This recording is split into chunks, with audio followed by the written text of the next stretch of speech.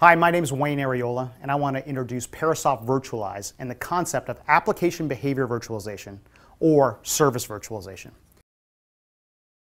From the perspective of your application under test, in order to actually emulate, build, or create a dependent system to actually test this application under test is very complex, and from a test lab management perspective, very expensive.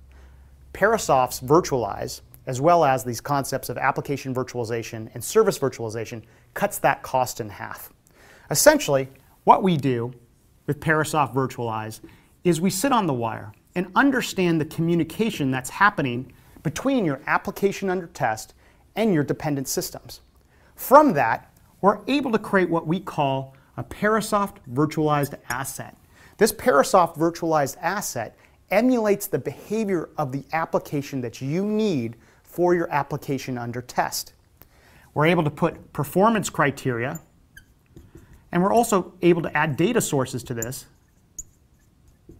in order to give you the ability to coach that asset to perform as needed for your application under test. So every point where you see a X here, we direct that communication to a Parasoft virtualized asset in order to recreate the system you need to test more accurately.